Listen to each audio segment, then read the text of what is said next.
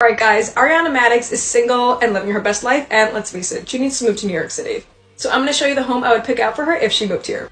I'm not even going to base it off of the home that she shares with Tom right now in LA because she needs a fresh start. But just from watching the show, her vibes and aesthetic are very cool, edgy, and sexy. So we are going with the penthouse unit at 525 Broome Street, which is a three bed, three and a half bath in Soho. I don't know, but when I look at this living room, I just see her there. I love the idea of an open floor plan for her because I envision her building out a bar so she can entertain and put those cocktail making skills to use.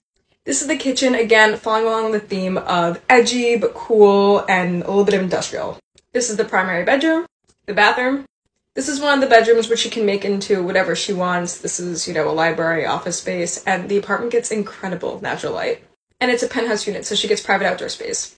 Ariana, babe, let me know what you think and call me when you move to New York because I'm helping you buy an apartment here.